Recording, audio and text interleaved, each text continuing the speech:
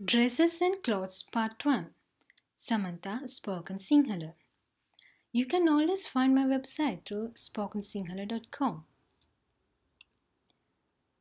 First one. Gauma Gauma Frock. The plural form is gaum. Gaum. Long frock Digga gauma Short frock කොට ගවුම. Pants. කලිසම්. කලිසම්. singular කලිසම. කලිසම. long දිග කලිසම. short කොට කලිසම. With design. design එක්ක. Plain. තනි පාට. Too tight. ගොඩක් තදයි.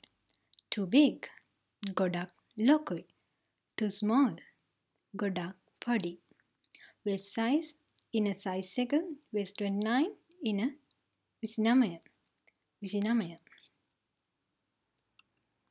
skirt සාය සාය plural සායවල් සායවල්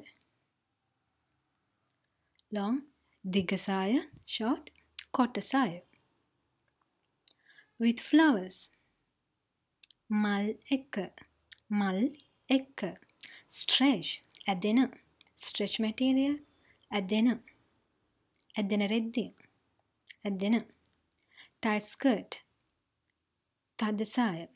This spelling is incorrect. තද T-H-A-D-A-I තද සාය.